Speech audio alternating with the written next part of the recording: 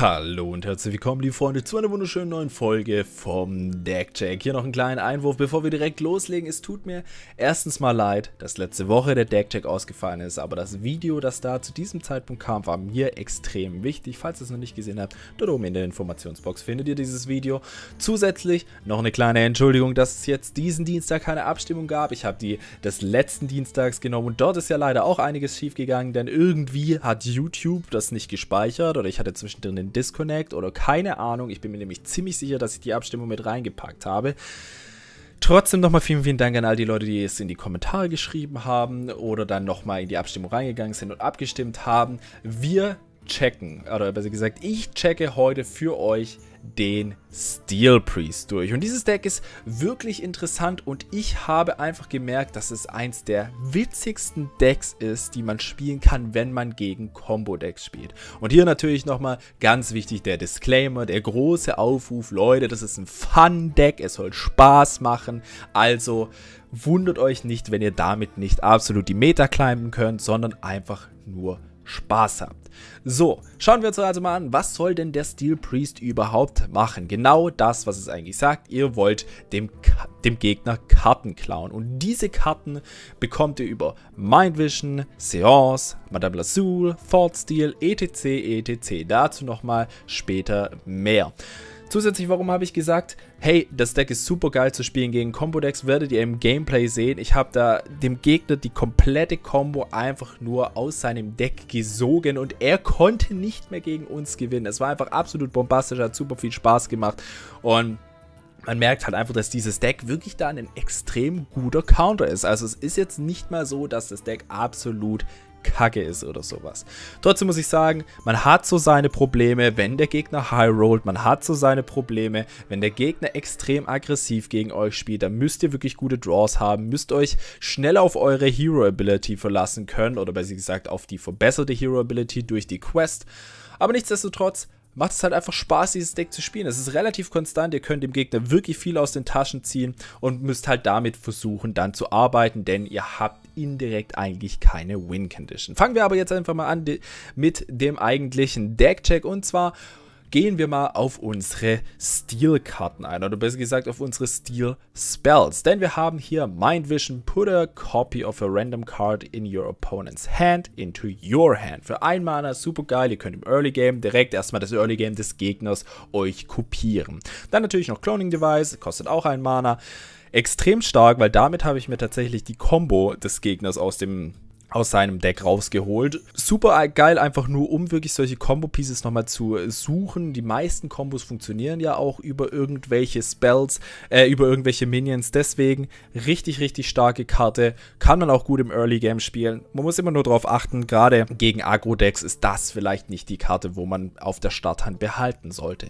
Seance, extrem stark. Ihr könnt eure eigenen Minions damit kopieren. Ihr könnt gegnerische Minions damit kopieren und euch nochmal einen dieser Karten eine dieser Karten auf die Hand zurückbringen. Und Thought Steel kopiert zwei Karten des, aus dem gegnerischen Deck und bekommt die auf die Hand. Extrem cooles Ding, weil ihr einfach nur Value meistens daraus bekommt. Ihr müsst euch vorstellen, wenn ihr euer Deck hier äh, anschaut, dann ist das relativ viele Spells, relativ schlechte Minions von den Stats her. Und der Gegner, die meisten Decks, die momentan gerade existieren, spielen halt wirklich so High-Roll-Minions, wirklich starke Minions. Und wenn ihr die halt einfach rausziehen könnt und damit noch zusätzlich einen Card-Draw euch generiert, denn Thought Steel tauscht 1 gegen 2, ist das schon eine sehr, sehr praktische Sache. Wir gehen weiter zu unseren Steel Minions und dabei haben wir Camelios, er verwandelt sich am Anfang jedes, Zug, äh, jedes Zuges in eine in eine Karte, die unser Gegner auf der Hand hat. Und damit können wir halt auch zum Beispiel Combo Pieces bekommen, können ein gutes Early Game uns generieren und so weiter und so fort. Tatsächlich eigentlich ein klassischer Steel-Minion, möchte ich es mal sagen. Drokari Trickster, give each player a copy of a random card from their opponent's deck. Wirklich auch eine starke Karte spielt man ja nicht nur jetzt hier in diesem Steel-Deck, sondern ich habe es jetzt auch in einigen anderen Decks schon gesehen, einfach weil diese absoluten Value-Minions ja momentan echt in fast jedem Deck vorhanden sind. Und wenn man sich da vielleicht einen stärkeren Minion irgendwie rauspullen kann, ist es auf jeden Fall nicht schlecht. Mischief Maker, ein bisschen der Random-Faktor hoch 50, möchte ich einfach mal ihn nennen. 3 Mana, 3-3, swap the top card of your deck with your opponent. Extrem lustig einfach nur. Ihr könnt damit dadurch, dass ihr ihm wirklich eine komplette Karte aus seinem Deck rausnehmt, sogar Kombos komplett zerstören. Madame Lazul, Battlecry, discover a copy of a card in your opponent's hand. Ihr versucht also eine Win Condition oder sowas in die Richtung hier zu suchen mit Madame Lazul oder vielleicht auch einfach nur AOE Removal. Einfach was, um euren Gegner ein bisschen abzufacken. Dann kommen wir weiter zu unseren Single Target Removal, denn wir müssen ja auch das Early Game relativ stabil überleben. Dabei haben wir Forbidden Words. Es ist jetzt nicht nur eine Early Game Single Target Removal Karte, sondern auch eine Late Game Removal Karte für 0 Mana oder besser gesagt all euer Mana, das ihr noch übrig habt, könnt ihr einen Minion zerstören, der so viel Attack oder weniger hat. Sehr, sehr praktisch, spiele ich hier auch als One-Off und wir kommen da auf die Karte nochmal zurück, denn sie ist auch ein bisschen eine Tech-Card, obwohl ich weiß gar nicht, ob ich sie hier als Tech-Card jetzt mit reingenommen habe, wenn ich ehrlich bin. Aber ich empfinde es so, dass man theoretisch sie äh, zweimal spielen könnte. Man muss aber gucken, wie, man, wie das halt ist mit der Meta, in der man sich momentan befindet. Und ich glaube, bei den Tech Cards habe ich zwei andere mit reingenommen, die ich als wichtiger empfand. Behalte es aber mal im Hinterkopf, Forbidden Words kann man da auch mal gerne als Tour spielen. Shadow Word Pain, Single Target Removal im Early Game, Shadow Word Death, Single Target Removal im Midgame und euer Convincing Infiltrator. Er zerstört eine Kreatur, wenn er stirbt, hat zusätzlich noch Taunt. Das heißt also, die Gegner müssen auf jeden Fall durch ihn durch und töten damit noch zusätzlich eine eigene Kreatur. Er ist eigentlich auch so mit das wichtigste Minion, das euer Pomp wieder resurrecten kann. Kommen wir weiter zu unseren Mass Removal Casts oder zu unseren Mass Removal Spells. Wir haben einmal Mass Hysteria, ein bisschen Random Faktor mit reinbringen, Force each Minion to attack another random Minion und Plague of Death als One-Off, super starke Karte, 9 Mana, Silence and Destroy All Minions. Absolut bombastisch, wenn ihr gegen irgendwas mit Death Rattles oder sonst was spielt. Damit kann man wirklich gut arbeiten. Dann kommen wir zu unserem Quest Package. Und bei diesem Quest Package muss ich dazu sagen, man kann es spielen, man muss es aber nicht spielen. Ich habe mir ähm, nach einigen, einigen Spielen gedacht, also ich habe natürlich wieder mal getestet, bevor ich das Ganze hier aufgenommen habe, äh, habe ich mir gedacht, hey, wir brauchen irgendwie noch eine theoretische Win-Condition, weil wir besitzen in diesem Deck eigentlich keine eigene. Und bevor wir dann halt wirklich rumgimpen und wir dann halt in Fatigue gehen und dann die ganze Zeit healen und eigentlich nichts erreichen, spielen wir doch lieber die Quest. Die Quest verbraucht nur einen einzigen Kartenplatz hier in diesem Deck und das macht uns überhaupt nichts aus. Wenn wir sie erfüllen, bringt sie uns dafür Value für 10, möchte ich einfach mal sagen. Dieses, wir können über Obelisk Eye 3 Health heilen und eine, eine Kreatur plus 3 plus 3 geben, ist einfach ultimativ stark und kann uns oftmals den Win einfach geben. Wenn ihr euch zum Beispiel vorstellt, einen Pomp oder sowas, der anstatt 3-1 plötzlich 6-4 ist, das ist halt einfach mal ein Wort, Leute. Dann natürlich Questing Explorer, zieht uns eine zusätzliche Karte, ist ein Card Draw, kann man immer gebrauchen. Dann haben wir noch unsere Minion Supportive Cards, natürlich Quests hier mit dabei, habe ich schon erklärt. Power Shield bringt euch eine Karte und nochmal plus zwei Leben auf eine Kreatur, die wir oder unsere Gegner kontrollieren. Und Psypomp habe ich jetzt auch mal als Minion Supporter mit reingestellt, denn er resurrectet ja förmlich einen friendly, also einen freundlichen Minion von euch, der gestorben ist in diesem Spiel und gibt ihm dann auch noch Reborn. Also absolut krank nur. Dann geht es weiter mit unserer Win Condition und hier habe ich es ja gerade schon angesprochen. Unsere Activated Obelisk ist eine, unsere haupteigene Win Condition, die wir in unserem Deck spielen. Ansonsten haben wir eigentlich keine wirkliche Win Condition, denn Thoughtsteel und Azalina Soul Thief spielen alle darauf an, dass wir das gegnerische Deck auseinandernehmen oder besser gesagt, ihm die Win Condition klauen. Oder sie kopieren, besser gesagt. Ansonsten haben wir da keine wirkliche Chance auf eine eigene Win Condition außer Obelisk. Und dann habe ich hier jetzt noch zwei Tech-Cards mit reingenommen, nämlich Plague of Death und Master Spell. Warum Master Spell? Weil Taunt momentan gar, gar nicht so beliebt ist, wenn wir mal ganz ehrlich sind. Ähm, Klar, Max sind gerade immer so ein Ding, aber das, das schwankt auch immer sehr, sehr stark. Momentan sind ja zum Beispiel auch Murlocs wieder extrem gut in der Meta drin oder dieses äh, Secret Hunter Deck oder Secret Hybrid Hunter Deck, wie auch immer man das Ganze nennen will oder was man halt auch spielt. Das sind halt solche Karten wie Master Spell einfach nur Crap. Aber sobald man wirklich gegen irgendwie was was in die Richtung Taunts geht, was in die Richtung Death Rattle, Max, die sich magnetisen und so weiter und so fort geht. Da spielt man auf jeden Fall Master Spell, vielleicht sogar ein Tour-Off, müsste man sich überlegen, weil meistens ähm, sind halt die Max dann relativ kleine Dudes, die halt immer größer gebufft werden. Wenn man die halt einmal Master Spell, dann sind vom Gegner irgendwie sechs Karten verschwunden. Für euch die für euch dann 4 Mana gekostet haben, um sie zu removen. Super, super starke Karte. Überlegt euch also da, ob ihr One-Off oder Two-Off spielt. Genau dasselbe ist eigentlich bei der Plague of Death. Es triggert keine Death Rattle, es triggert nichts irgendwie, was äh, wichtig ist. Durch diesen Silence und alle Minions werden direkt nochmal zerstört. Zwar eine sehr, sehr teure Karte, deswegen hier in diesem Deck auch nur ein One-Off und ihr könnt euch überlegen, hey, spiele ich vielleicht einen ähm, ein anderes Removal spiele ich vielleicht ähm, hier Holy Nova oder sowas, wenn ihr nur gegen Agro-Decks spielt. Oder vielleicht sogar noch eine zweite Plague of Death, wenn ihr nur gegen extreme Late-Game-Decks spielt. Dann kann das auf jeden Fall funktionieren. Müsst ihr euch aber natürlich selbst, äh, selbst überlegen, wie ihr das machen wollt. Als kleinen Zusatz möchte ich hier jetzt nochmal mit reinbringen. Überlegt euch das nochmal, wie das Ganze aussieht mit dem, äh, jetzt habe ich den Namen der Karte leider hier vergessen hier.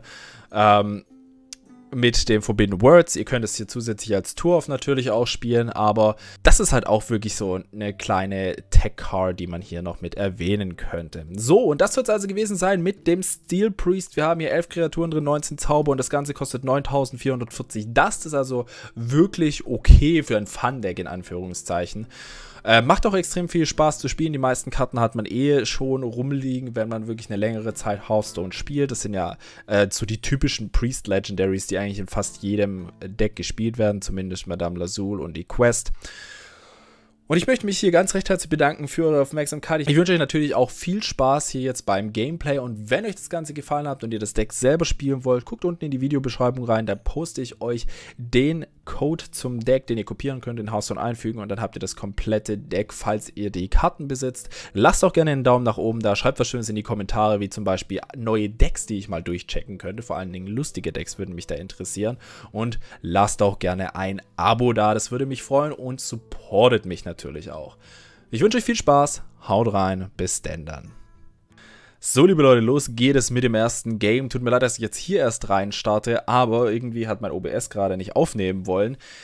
Erstes Matchup gegen einen Priest und wir behalten natürlich hier unsere Quest mit am Start, haben jetzt hier Power Shield und Power, äh, doch Power Cheat und Shadow Word Pain mit am Start. Power Cheat maligen wir aber erstmal weg, weil wir keinen Minion jetzt äh, aktuell zur Verfügung haben, über das wir arbeiten könnten. Ich denke einfach mal gegen den Combo Priest ist ein relativ interessantes Matchup. Okay, er ist auch Quest Priest. Ähm, äh, da wir eben sehr, sehr wichtige und sehr, sehr coole Karten einfach stehlen können. Sowas wie den, ähm, Injured Blade Master zum Beispiel oder so sind sehr, sehr starke Karten, die wir uns rausziehen können und über die wir halt einfach agieren können. Questing Explorer kommt erstmal jetzt hier raus für zusätzlichen Draw und wir können jetzt eigentlich schon so gut wie alles platt machen, das er hier rausspielen möchte. Wir haben einen Mars Removal, wir haben einen Single Target Removal und wir haben den guten Mischief Maker. Ist halt so eine Karte, die, die bringt halt einfach die absolute Randomness in dieses Deck mit rein. Er entscheidet sich gegen, dagegen, dass er irgendwas hier macht an dieser Stelle, möchte wahrscheinlich aufs Maul kriegen von uns und das wird auch passieren. Wir tauschen aber jetzt erstmal die oberste Karte unserer Bibliothek gegen die oberste Karte seiner Bibliothek. Und schauen mal, was er jetzt hier gezogen hat. Oh, ich hoffe einfach nicht, dass er so, so wirklich den absoluten Lucky Draw hatte oder so, sondern vielleicht irgendwie was wie Forbidden World, obwohl Forbidden Worlds ist schon gar nicht so schlecht. Aber irgendwas Schlechteres auf jeden Fall.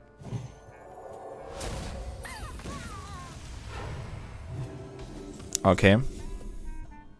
Oh, wir haben Muerte gezogen. oh, das ist halt ridiculous. Nice. So, wen holen wir uns noch? Wir holen uns Vargoth. Oh mein Gott. Spielen Vargoth. Bitte nicht den Coin, sondern den Discover. Goddammit. Goddammit. Das heißt also, wir spielen jetzt hier Resurrect Priest, Leute. Oder besser gesagt, wir, wir stehlen uns den Resurrect Priest hier zusammen. das ist halt super cool einfach nur. Das ist halt wirklich einfach nur super stark. Okay, Mars Spell war für ihn wahrscheinlich ziemlich wichtig. Mind Vision. Ja, komm, gib mir mal noch ein paar gute Karten von dir. Ah, der Pomp. Okay, dann pompen wir hier mal ein bisschen. Oh, ist actually ziemlich gut. Damit kann ich auf jeden Fall arbeiten. Wenn er jetzt hier auf Mars Hysteria geht, ist natürlich mein komplettes Board weg, aber er entscheidet sich für Celiax, kann sich also hier ganz gut healen und ich kann auch verstehen, warum er hier wirklich über, über Celiax so viel arbeitet oder warum die Leute hier so viel Celiax spielen, weil er jetzt auch gut auf seine Quest weiterarbeiten kann. Wir holen uns nochmal eine Karte von ihm. Was ist nochmal der Pomp? Okay, dann payen wir ihn, hitten ihn hier healen uns, machen einen Turn. Ich meine, wir sind jetzt gerade in der Situation, wo ich wirklich sagen kann, hey, es sieht jetzt nicht schlecht aus oder sowas. Wir kriegen gerade einen ganz guten Damage-Output. Also 7 pro Turn ist jetzt nicht das wenigste. Er müsste sich irgendwie dagegen wehren, irgendwie dagegen healen oder sowas. Und seine ganzen krassen, starken Minions sind natürlich jetzt ein bisschen, ja, uninteressant geworden. Obwohl ich halt echt sagen muss, Celiax kann halt da jetzt einiges machen. Der kommt jetzt halt immer wieder, auch durch den Pomp und sowas kann er mit dem halt weiterhin arbeiten. Wir müssen ihn hier uptraden. Haben wir eine Alternative? Alternative, wie wir den irgendwie wegkriegen könnten. Ein zweites Shadowwood Pain wäre halt nicht schlecht. Eine Plague of Death können wir noch nicht spielen. Ich glaube tatsächlich, wir...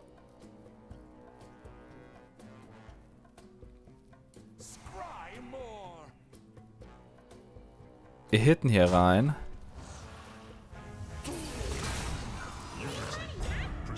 Oh lol, der kommt jetzt mit Divine Sheet auch noch wieder. Das zackt natürlich. Ja, dann kommt Mass Hysteria raus. Und jetzt stirbt er. Das Gute ist halt, unser Vargov stirbt jetzt dazu auch noch. Das Problem ist, seine Quest ist damit activated. Uff, schwierig. Schwierig, schwierig. Aber wir haben den 3-1er noch am Start, der, der überlebt hat. Wir haben nur zwei Leben geheilt. Aber das ist halt gar nichts. Das ist halt gar nicht. Ceciliax hat hier einen richtig, richtig starken Job gemacht. Und den zu resurrecten war halt auch übelst insane einfach nur. Das war ein echt, echt starker Play. Komm, nochmal ein Pomp. Als ob. Lucky Typ, hey. Lucky, lucky Typ. Ja, die Plague of Death wird wahrscheinlich dementsprechend bald rauskommen, weil wir sonst darüber, äh, sonst hier einfach nicht mehr so viel machen können. Gehen wir darauf, was ziehen wir dann raus? Wir würden nichts Gutes rausziehen, gell?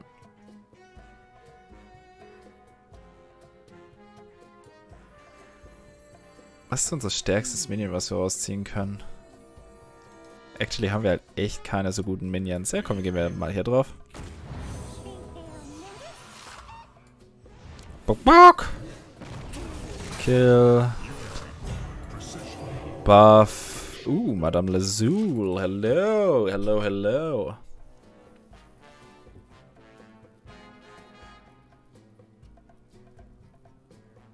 Er bufft den wieder.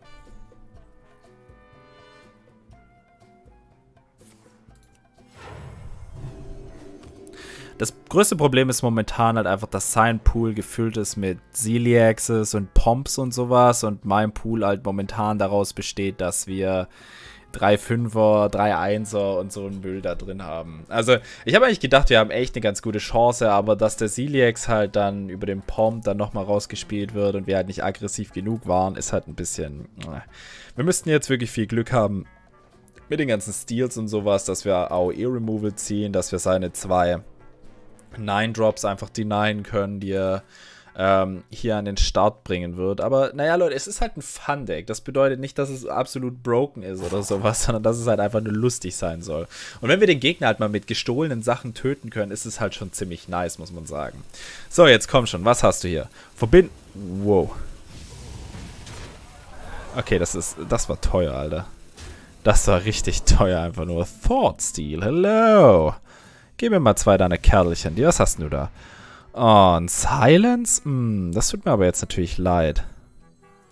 Oder töte ich ihn einfach? Sechs Mana, er kostet fünf. Ich kann ihn einfach töten, gell?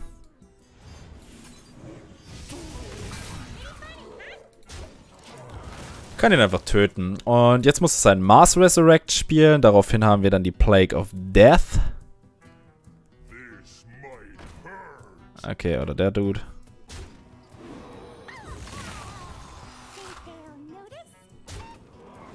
Autsch.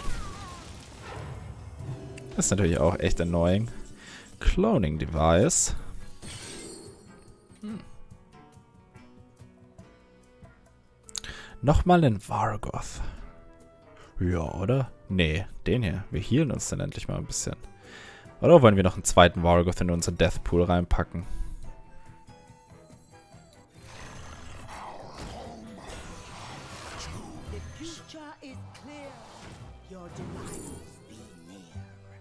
Plague of Death Nummer 2. Okay, damit haben wir eigentlich unseren, unseren Gameplan vorbereitet, möchte ich es jetzt einfach mal sagen. Wenn er es jetzt weiterhin versucht, immer wieder irgendwelche Dudes rauszubringen, ist das für uns vollkommen fein. Wir healen uns jetzt hier um 3, gehen damit hoch auf 5, dann gehen wir hoch auf 8. Er kann jetzt seinen Dude healen, tötet aber Lazul nochmal, kann dann aber nicht äh, nochmals angreifen im nächsten Zug silenzen wir ihn einfach und dann ist es... Oh, what? Der kann trotzdem nochmal angreifen? Schweinerei, Leute. Schweinerei.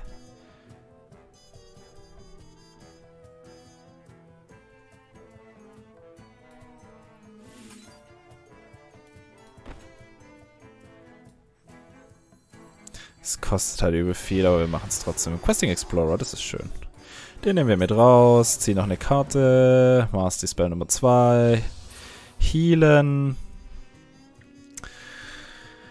Ah, ich glaube, Seos möchte ich auf was anderes spielen. Seos möchte ich auf was anderes spielen. Komm, ich warte nur, dass du dein, dein AOE castest hier. Jetzt macht es doch endlich mal, dass ich, dass ich meine Ruhe habe. Okay, er hättet uns trotzdem noch für 6. Das ist fein.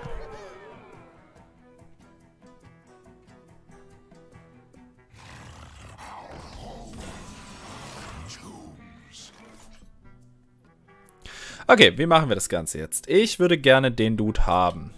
Möchte aber gleichzeitig auch pompen. Das heißt also, erstmal spielen wir einen Pomp. Pomp it out. Oh, wow. Das ist schon ziemlich geil. Dann holen wir uns den Kollegen auf die Hand. Silenzen einfach nochmal alles. Zweites Jahr, ist gut. Hitten ihn, machen einen Turn. Sind auf 14. Er kann... Ja gut, er könnte Lethal haben, theoretisch. Er könnte Lethal haben, theoretisch. Muss aber nicht sein. Okay. Obelisk. 6. 3. 5 Damage fehlen noch. Mein Blast ist leider nicht mehr im Game. Leroy Jenkins könnte kommen. Infiltrator. Hello. Nochmal ein Pomp. Ja, dann hätte ich mal gesagt, ähm, nam, nam, nam, nam, was machen wir denn jetzt? Wir gucken erstmal, wie die Trades hier stattfinden werden.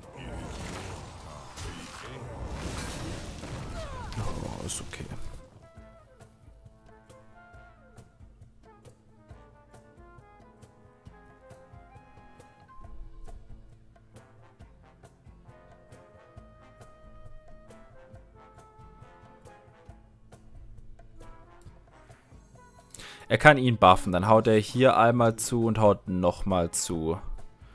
Dann heilen wir uns. Komm, wir pompen erstmal. Ach komm, als ob. Ah, je, mine, hey, Alter, was ist denn das hier? Die ganze Zeit The End begins.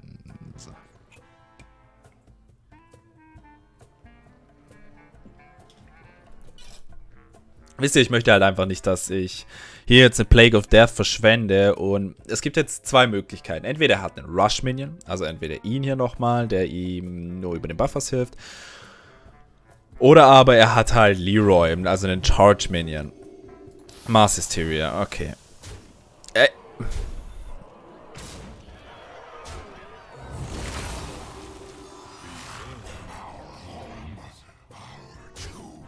Okay, äh, wir überleben immer noch, haben die Quest jetzt aktiviert.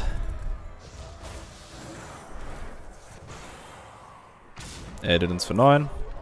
Divine Hem.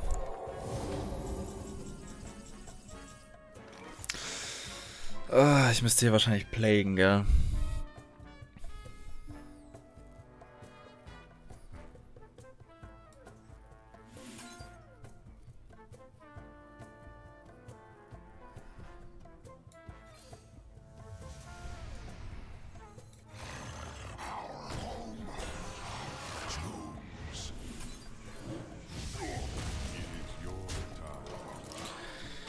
Die Sache ist halt immer noch die, dass er theoretisch sein Mars Resurrect spielen kann, ihn zu Tode klopfen und ich dann daran sterbe. Aber das wäre so oder so passiert. Also wenn, wenn er jetzt wirklich dieses Mars Resurrect hat und zwei Rusher rauskriegt, oder hat er nur einen? Ne, es müssten zwei gewesen sein, gell? Nee, oder war das immer nur dasselbe? Aber dann kann er auf jeden Fall seine Hero Ability nicht mehr nutzen. Dann kann ich einmal eine Plague of Death spielen und dann sind wir halt wieder relativ fein. Also wir haben uns jetzt hier schon... Ich muss wirklich sagen, gegen dieses Deck haben wir bis jetzt sehr gut performt. Wir haben zwar nur zwei Leben und diese zwei Leben sind jetzt auch nicht wirklich gut oder sowas, aber... What the fucking shit, Alter. Ist es dein Scheiß Ernst? Nein. Nein, ey. Das, das kann doch jetzt nicht sein, Alter. So, wie kann man so unlucky einfach nur sein? Oh mein Gott, Leute. Oh mein Gott. Ich wette mit euch hundertprozentig, hätte er nicht Triple Celiacs rausgekriegt. Ich meine, bei ihm sind nur bis jetzt drei Celiacs gestorben, gell? Drei Stück und er hat Triple Celiacs rausgezogen. Ein anderen Minion, ein Minion, der kein Rush hat, der hatte zwei oder theoretisch vier Stück im Pool. Von zehn dann wäre es für, dann hätten wir das Game noch rumgerissen, Leute. Bin ich mir ziemlich sicher, weil wir hätten dann jetzt Plague of Death gespielt, hätten unser Leben dann wieder äh, regeneriert, dann hätten wir über unsere Hero Ability, hätten wir die ganzen Dudes dann hochheilen können, die wir rausspielen. Wir hatten sogar noch die Möglichkeit, Azelina oder sowas zu spielen. Also, Uff, das war jetzt ein trauriges Ende, Leute. Triple Celiax hat ihn wahrscheinlich genauso verwundert wie mich. Aber naja, gucken wir einfach mal, wie es weitergeht in Game Nummer 2. Bis gleich. So viel Glück wie dieser Priester musste man auch erstmal haben. Also, holy shit, Leute. Triple Celiax ist halt ridiculous, möchte ich es jetzt einfach mal nennen. Ihr müsst euch einfach mal überlegen, wie gut wir da noch rausgekommen wären. Komm, guter Two-Drop. Nice, da ist der Questing Explorer wieder um gutes Early Game zu haben. Ich bin mir noch nicht sicher, wahrscheinlich ist es ein Murloc-Deck und beim Murloc-Deck ist es sehr, sehr schwierig, mit diesem Deck irgendwas zu machen. Gerade diese ganzen Agro-Decks sind halt echt schwer Hand zu haben damit. Man versucht dann schnell irgendwie die Heals rauszupacken, aber das funktioniert oftmals nicht, weil man gleichzeitig noch das Board kontrollieren muss, weil es sonst absolut eskaliert. Das wäre natürlich schön, wenn wir uns mit unserem Mischief Maker äh, verschiedene Sachen von ihm klauen könnten. Aber da müssen wir halt wirklich viel Glück haben, dass wir genau die rausziehen. Einmal Scale oder sowas könnten wir da rauspullen, wenn es wirklich ein Agro-Murloc-Deck ist. Und dann wäre halt die nächste Alternative dazu, dass wir irgendwie sein, seinen anderen Spell da rausholen. Oder wenn es das Pharaoh-Deck ist, dass wir halt den Pharaoh rausholen. Das wäre halt übelst insane. Naja, mal gucken, wie äh, unsere Chancen stehen. Theoretisch könnte es auch ein typischer, ein typisches Mac-Deck sein, weil Mac ist ja momentan auch wieder gerade sehr, sehr beliebt und auch ganz gut in der Meta, wenn ich es richtig im Kopf habe. Kann ich gerne mal nochmal nachgucken, damit ich da jetzt keinen Blödsinn erzähle. Und um euch einfach momentan die Meta ein bisschen näher zu bringen. Crystology, ähm, ne, Murloc Paladin ist momentan immer noch da. Und dann halt der Highlander Mac Paladin. Obwohl es ist nicht direkt Mag, ist halt irgendwie so ein Allrounder Paladin. Okay, Coin. Uh, draw some cards. Ja, das ist doch für mich erstmal in Ordnung. Wir tauschen jetzt erstmal die oberste Karte unserer Bibliothek miteinander aus. Und schauen mal, was wir da Gutes ziehen werden.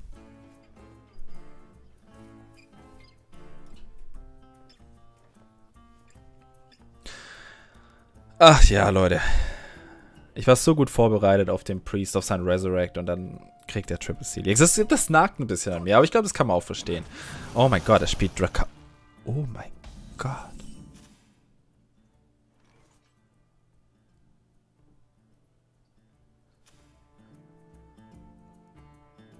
Oh mein Gott, nein, es wäre die perfekte Combo gewesen. Ah, oh, es wäre so schön. Oh mein Gott, ich hätte es so gerne einfach gespielt, Leute.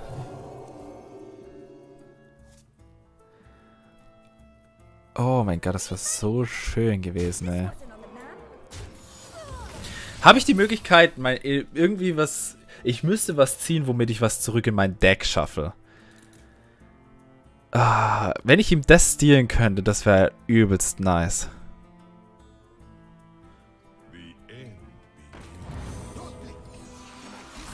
Das war, ist gut für ihn gelaufen. Das ist sehr, sehr gut für ihn gelaufen.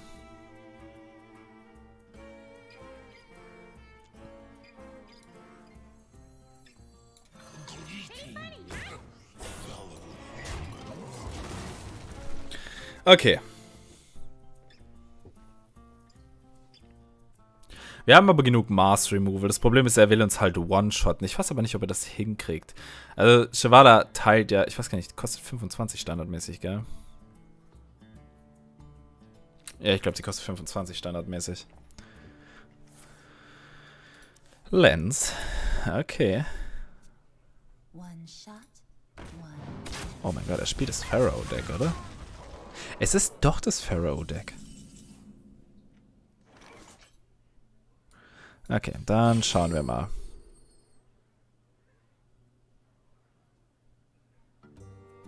Oh mein Gott, das ist einfach so ridiculous. Das ist so ridiculous.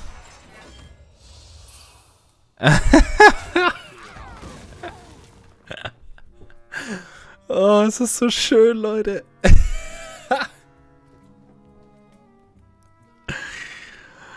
Oh, das... Wisst ihr, und das sind die Plays, die ich sehen will von diesem Deck. Genau solche Sachen. oh, das, das erfreut mein Herz. Das erfreut halt einfach nur mein Herz. Äh, jetzt ziehen wir noch ein paar Karten. Er möchte halt schnell auf seine Combo-Pieces kommen. Oh, es wäre so gut, wenn wir das stehlen könnten. Einfach nur. Oh, wäre optimal. Ja, das ist fine. This is fine. Mind Vision. Mind Vision. Shrink Ray.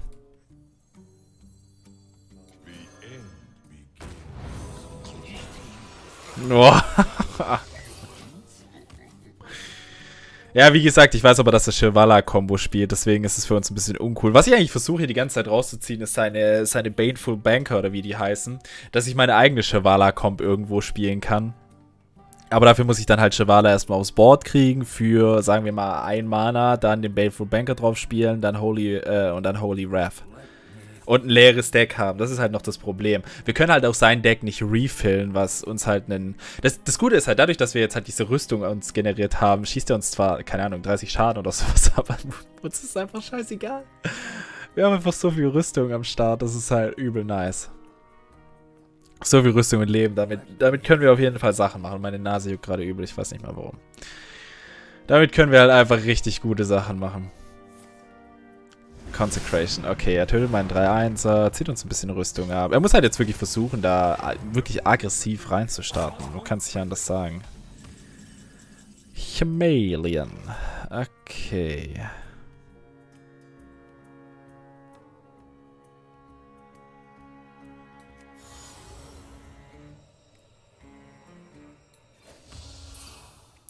Ich überlege mir gerade ernsthaft, ob ich einfach einen Master Spell wasten sollte.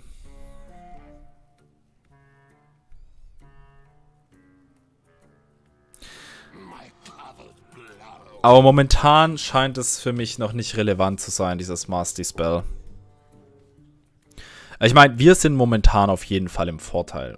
Man muss einfach sagen, wie es ist. Und ich muss jetzt doch mal ganz kurz nachgucken, wie viel Chevala kostet. Chevala. Da. 25 kostet sie. Nicht, dass ich mich da irgendwie verrechne und dann doch geotikate werde. Das würde mich ein bisschen ankotzen, wenn ich ehrlich bin.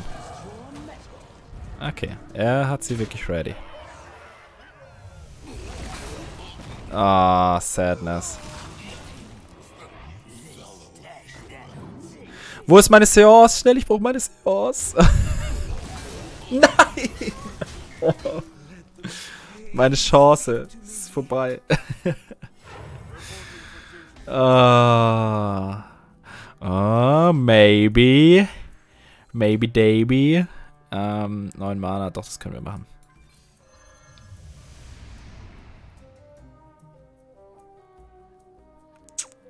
Oh, meine Chevale. Das sagt natürlich. Das sagt natürlich hart.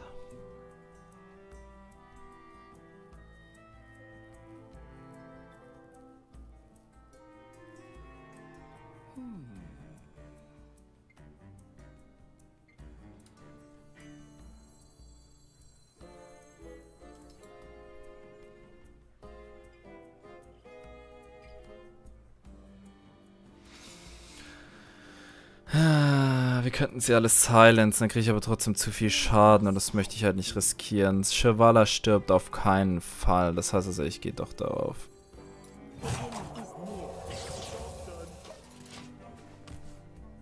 Damit hat er jetzt ganz viele 1-1er, die wir im nächsten Zug einfach äh, Mars Hysterian können.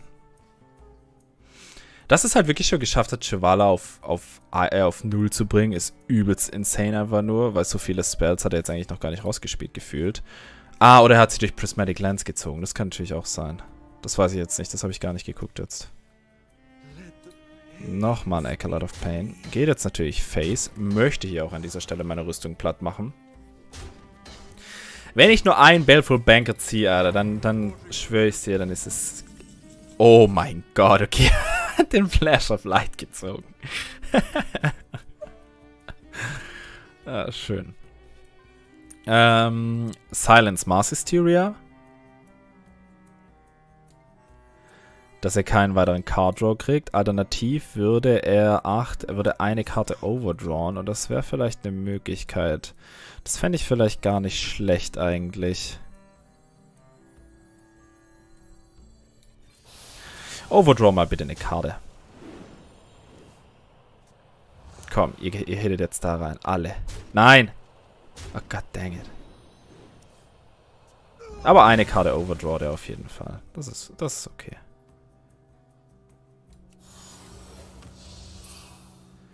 End turn. Na, Pyromancer ist nicht das Optimum hier gewesen, aber es ist fein. Im nächsten Zug können wir Shivala spielen. Consecration. Okay, macht seine Shivala auch nochmal billiger. Zieht noch eine Karte. Möchte uns also kombon. Timeoutet.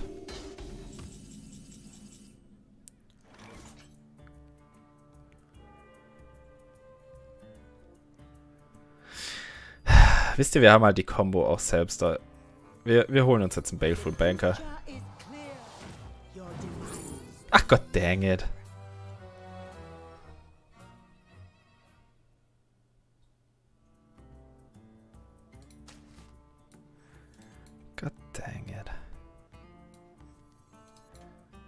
8.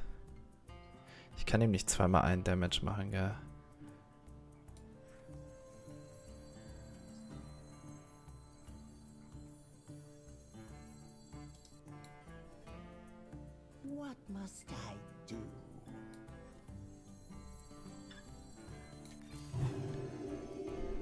Shivala ready machen. Healen and turn.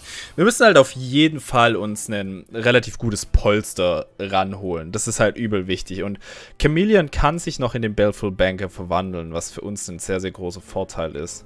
Weil wenn er halt einmal seine Shivala-Kombo durchkriegt, der schießt uns insgesamt 50 Schaden theoretisch. Und das ist eigentlich zu viel momentan. Wir können uns keine zusätzliche Rüstung machen. Er spielt nochmal ein Timeout. Okay spielt ja auch sehr, sehr viele Karten raus. Er möchte es jetzt also auf jeden Fall wissen. Wir gehen hier auf Mind Vision. God damn, Alter. Why?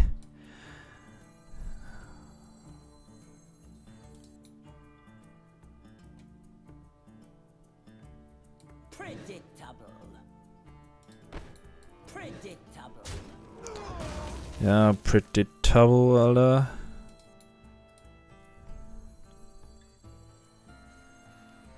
Shivala, Kangor, Kill, Heal um 14. Oh, dang it, ich hätte, ich hätte die Hero Ability nutzen können. Ist okay, wir, wir werden nicht sterben. Ist okay. Nur wir haben halt immer noch kein Ding gezogen.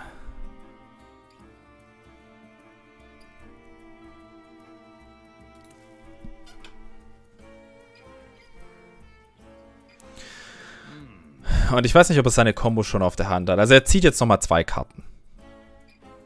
Dann hat er noch zwei Karten in seinem Deck. Dann holen wir uns über Azalina seine Hand. Wir holen uns über Azalina seine Hand und töten ihn. Ist es, ist es möglich? Bräuchte noch ein Timeout. Essalina Timeout funktioniert aber. Er hat aber beide Timeouts schon gespielt, gell? Ah, könnte kritisch werden. Könnte sehr, sehr kritisch werden. Er braucht aber zwei Züge Minimum, um uns zu OTKen. Weil er muss... Obwohl, nein, er kann uns gar nicht doppelt OTKen. Er zieht ja eine Karte damit. Das heißt also, solange wir uns einfach weiter healen, ist eigentlich alles okay, Leute. Solange wir uns weiter healen und unsere Rüstung äh, standhaft bleibt, macht er uns 25 Schaden, weil er einen Baleful Banker schon rausgespielt hat. Und ich glaube, das hat er auch rausgefunden, weil er jetzt nämlich äh, hier innerlich schon conceded hat. Komm, jetzt, Baleful Banker. Ich möchte... Jawohl. Jawohl, Leute.